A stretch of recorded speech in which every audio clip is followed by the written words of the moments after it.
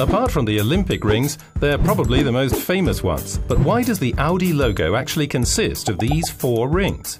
It's very simple. Each ring represents an originally independent automobile manufacturer. The four rings symbolize the merger of these companies into a group. One by one. We start with August Horch, who became an independent car manufacturer back in the late 19th century with the Horch Works. Shortly after the conversion into a corporation, he left the firm and promptly founded a second car company. But now he could no longer use his last name. So he decided to have the German word Horch, listen, translated into Latin, and out came Audi. A further ring represents the former company Wanderer, which enriched the car sector with its small car Puppchen.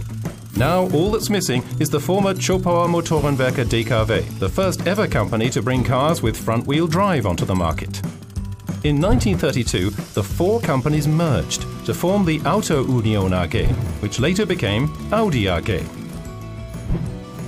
And has remained true to its original trademark, the four rings, since 1932.